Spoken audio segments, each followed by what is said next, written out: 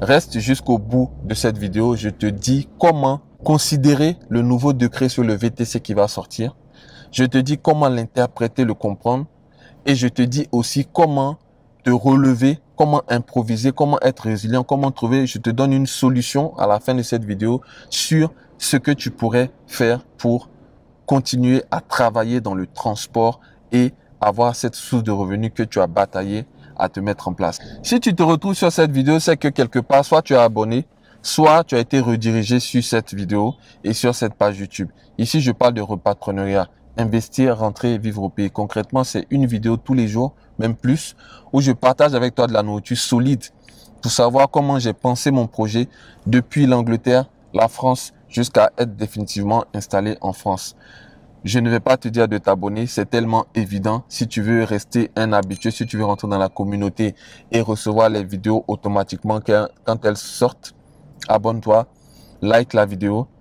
Et puis descends en bas de description, télécharger mon premier livre gratuitement, 10 astuces pour investir, rentrer et vivre au pays. Ça va te donner une bonne idée de l'environnement, du mindset que tu dois avoir si tu comptes rentrer au pays ou même investir. Et puis il y a le lien en bas de description de mon livre Deuxième livre, Amazon, qui est sur Amazon, sur l'investissement dans l'élevage de poulets. OK il n'est qu'à 4,99€. Télécharge-le pour soutenir la chaîne, c'est important. Prends du temps de coaching en bas de description également. Euh, ça peut être euh, utile si tu veux réussir ton projet en Afrique. Comment comprendre que à l'aube, à l'aube d'un décret presque imminent qui va venir réguler l'activité du transport en Côte d'Ivoire. J'aurais pu dire l'activité des VTC, mais en réalité, c'est l'activité du transport de façon générale qui va être régulée avec ce nouveau décret. Comment comprendre qu'avec tout ça, je vienne encore, je sorte à peine du concessionnaire le plus prisé dans cette activité de Yango. Comment ça se fait? Comment c'est possible? Comment c'est possible que pendant que tout le monde a peur, pendant que beaucoup ont peur, on va dire ça, pendant que beaucoup ont peur, pendant que beaucoup se demandent euh, qu'est-ce qu'ils vont faire, qu'est-ce que leur revenu complémentaire qu'ils avaient réussi à se, à se, à se sécuriser, à se créer, qu'est-ce qui va se passer lorsque ce revenu complémentaire va être affecté?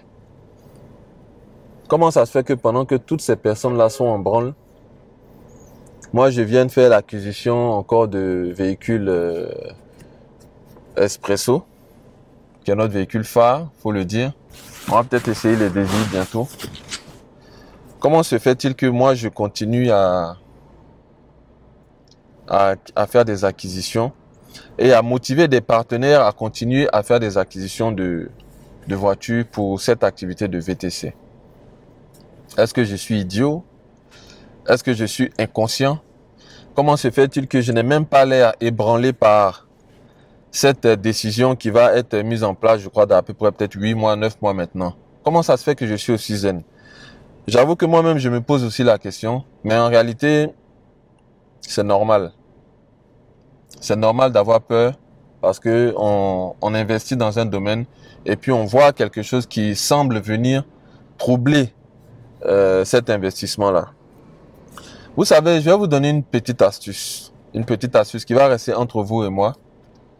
Entre toi et moi, membre de la communauté. Et vu qu'on est que 10, 10, 10 250 sur la plateforme, ça va rester entre nous. Ça va rester entre nous. Nous sommes à peu près 11 250 avec moi. Vous savez, il y a quelques années, il y a eu la crise de l'agrobusiness ici en Côte d'Ivoire. Et moi, j'ai beaucoup perdu d'argent dedans. J'en ai, j'en parle dans plein d'autres vidéos.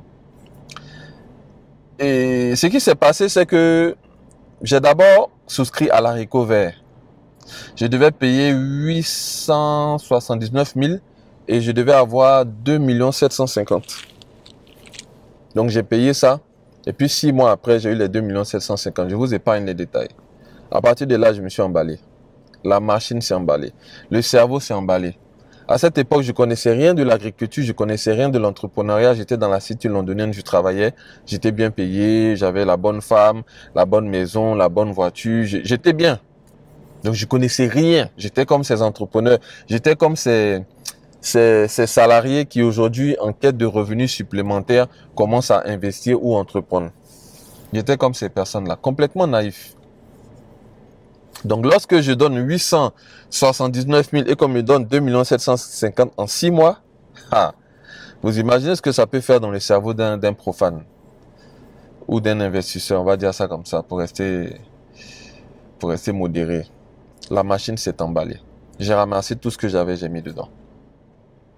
Et puis, boum, ça a explosé et j'ai tout perdu.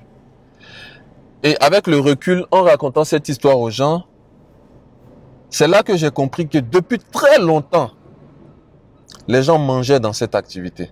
Depuis longtemps, ce système était stable et fonctionnait. Depuis très très longtemps. Mais parce que c'était à échelle réduite. Voilà pourquoi je dis beaucoup aussi aux entrepreneurs, ne cherchez pas trop de clients.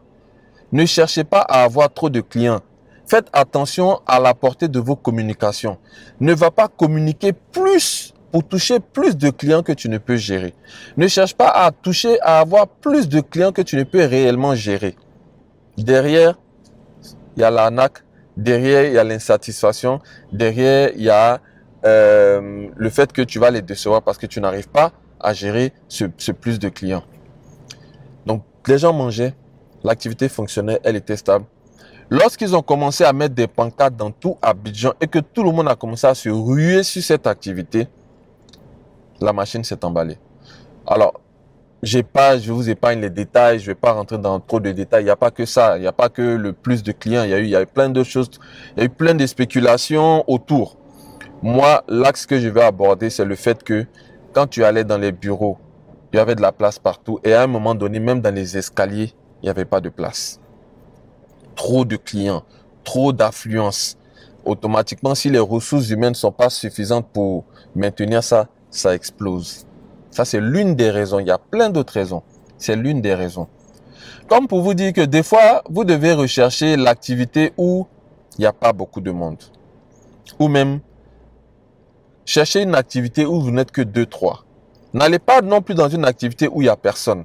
Parce que quand dans, quand dans une activité, il y a déjà des acteurs, ça veut dire qu'il y a un marché. Vous remarquerez que dans une, dans une rue, quand quand un groupe pétrolier vient faire une station d'essence, je suis fatigué de faire de la pub gratuitement, je ne vais plus dire de nom. Très rapidement, dans la même rue, dans la même voie, deux ou trois autres stations pétrolières, viennent s'installer. Pareil pour les banques.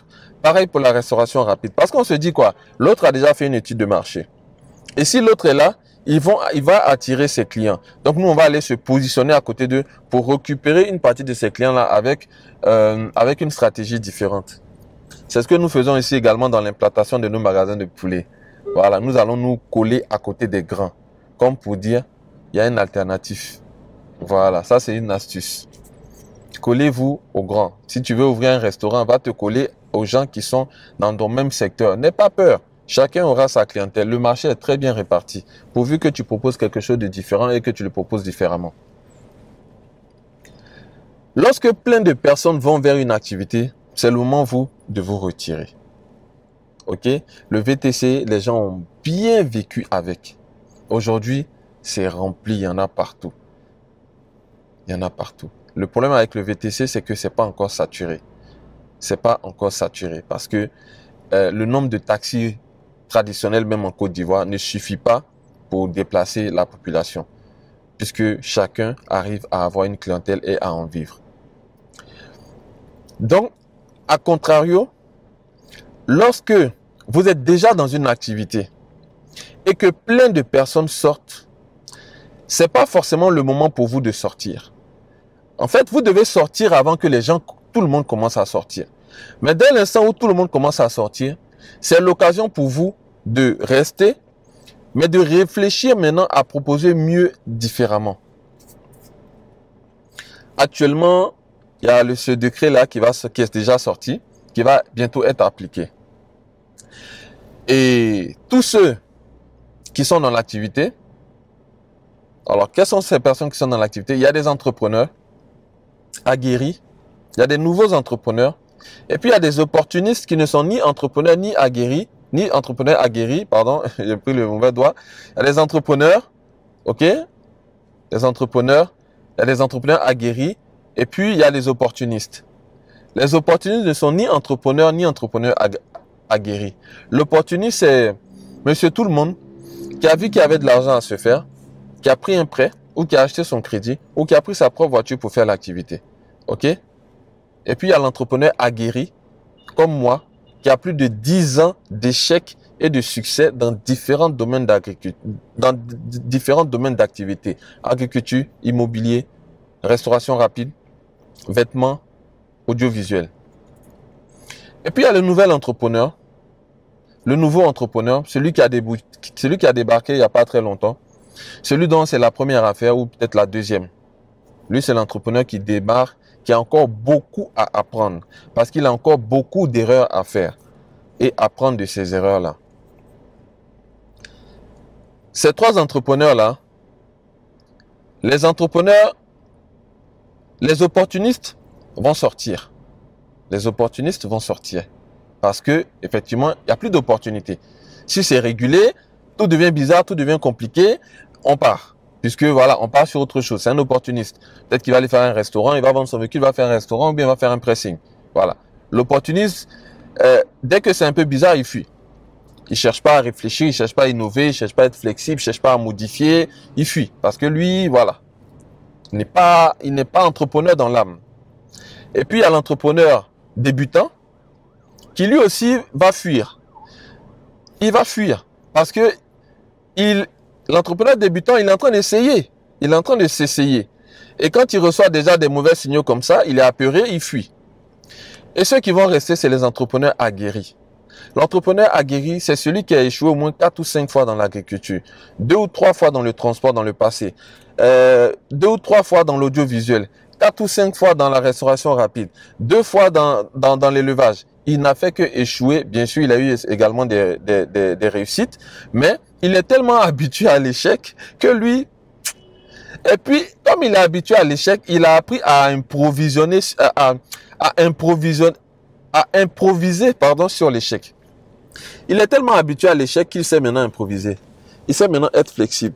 Il sait modifier sa vision. Il sait modifier sa stratégie. Il sait observer même de loin quand les choses vont commencer à se gâter. Quand moi j'ai vu trop d'acteurs dans le VTC, je savais que quelque chose allait devenir bizarre. Je savais ça déjà. Parce que la différence entre le VTC et les taxis traditionnels, César a trop à gagner à ce que tout le monde devienne taxi traditionnel. César a trop à gagner. Parce que concrètement, faut se dire la vérité, en termes de charge, le VTC, c'est assez léger quand même. Je fais même une vidéo où je compare les deux. Vous pouvez voir qu'il y a quand même une différence d'un, peut-être d'un demi-million entre les deux. C'est, quand même, quand même important. Et un demi-million entre les deux, c'est au départ. Après, il y a toutes les charges qui viennent derrière. Donc, c'est clair que euh, l'État a intérêt à ce que tout le monde bascule.